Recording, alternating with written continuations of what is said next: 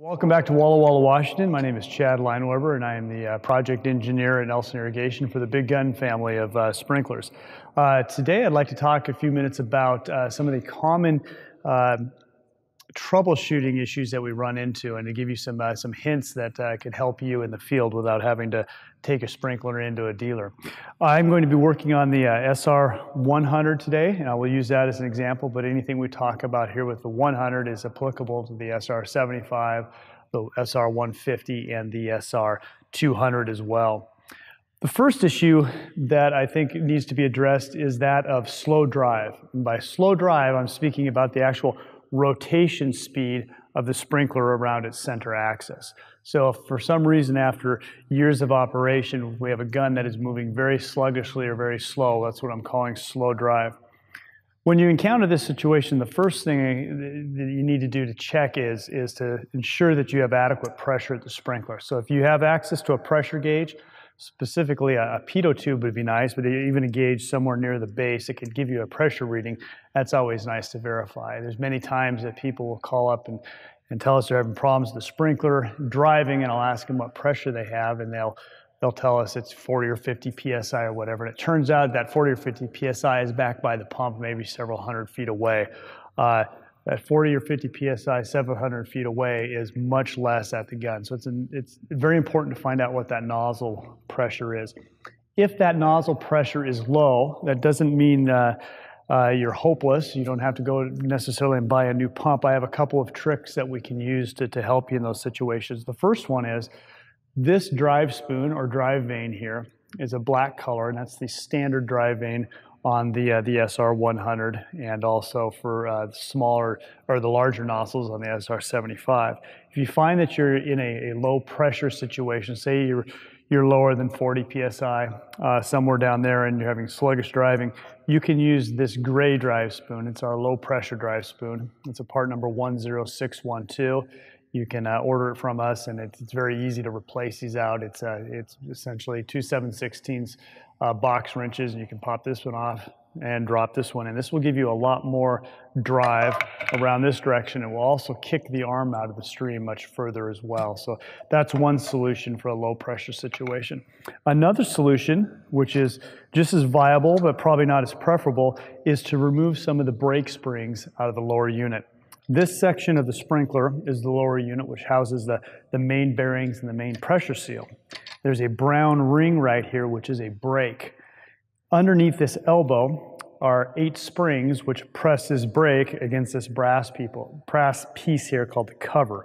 And that's what gives us a braking force. That prevents the sprinkler from operating too fast, and it also keeps the sprinkler level. If we were on a bit of an incline, the sprinkler would want to slide back uh, after it, it drives with each stroke if it wasn't for the brake. So as long as you're not on an incline, you, are, you can take some of those brake springs out. The way to do that is just by using a, a, wrench. You will remove these four bolts that hold the elbow to the lower unit. The brake spring will extend and kind of pull this up, so you're going to want to hold it probably by the range tube.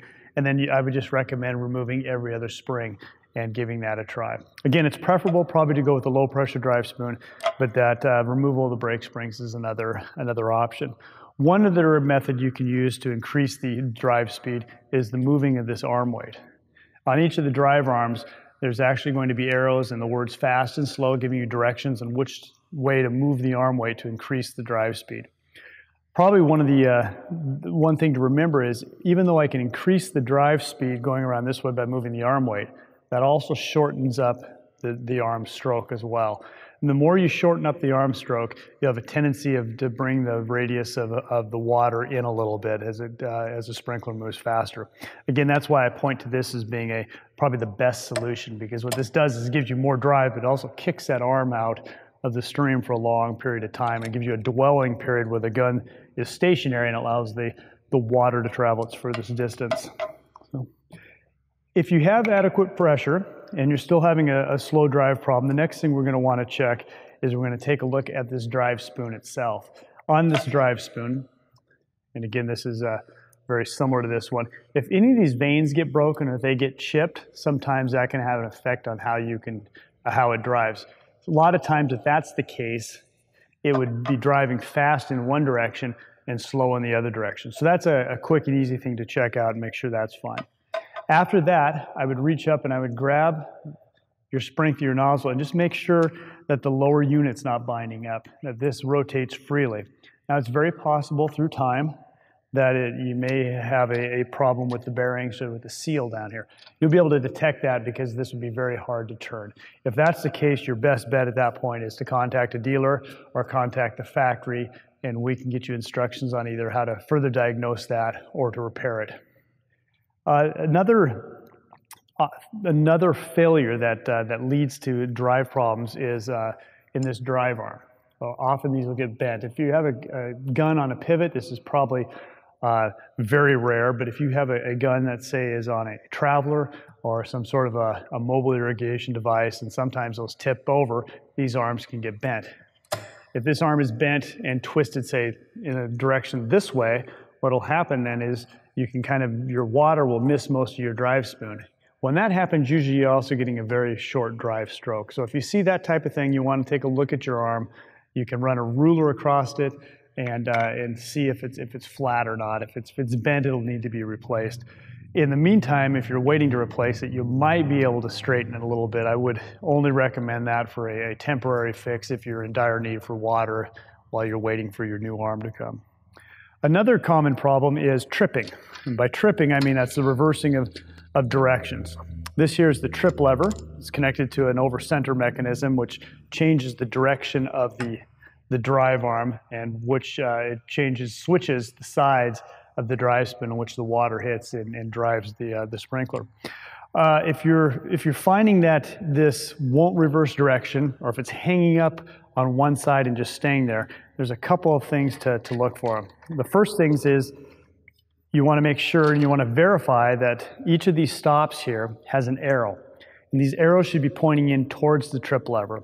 So this tail on the elbow, and the trip lever should always be be between the arrows. You also want to make sure that you can see the arrows on the top.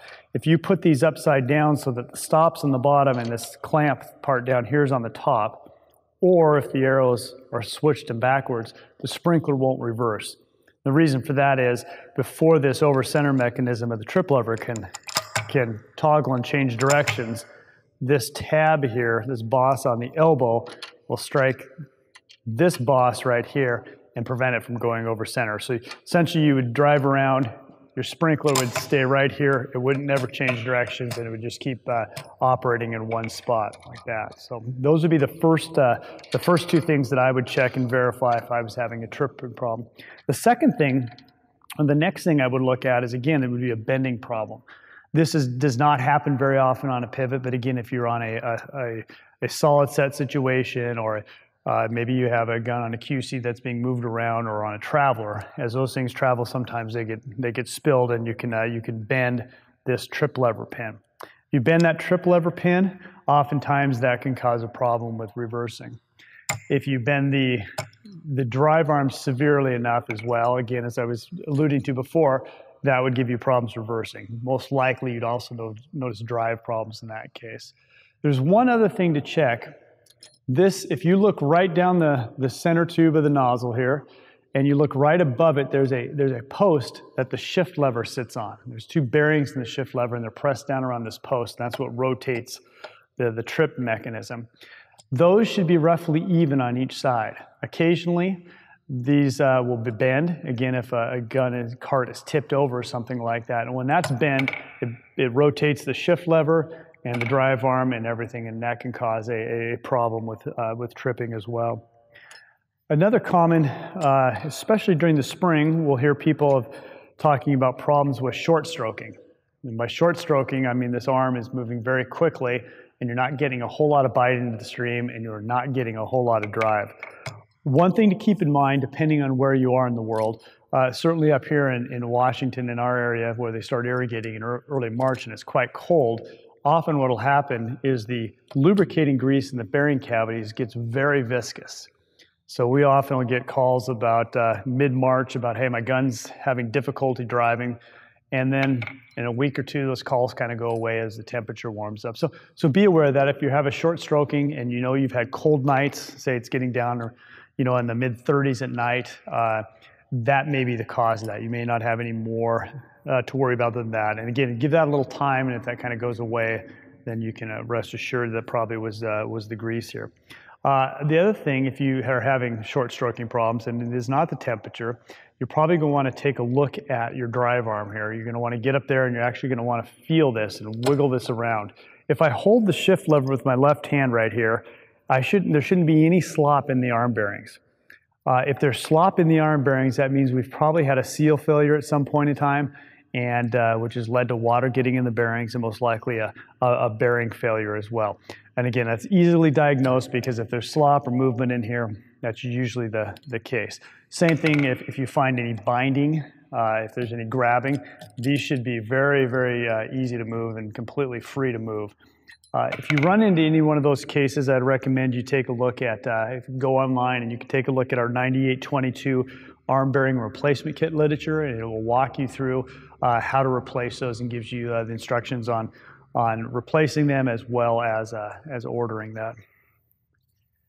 The other thing to uh, keep in mind if you have a short stroke, as I said before, this arm uh, weight position can be adjusted. It's possible that maybe somebody adjusted the, your arm weight you weren't aware about it, moved it back into the fast position here, and that'd give you again a very uh, a very short stroking uh, situation there as well. So those are some of the the typical uh, troubleshooting problems I guess we run into out in the field. If you run into anything beyond that, at any point in time, you can call your dealer or uh, give the factory here a call, and we're more than happy to help you uh, troubleshoot your gun.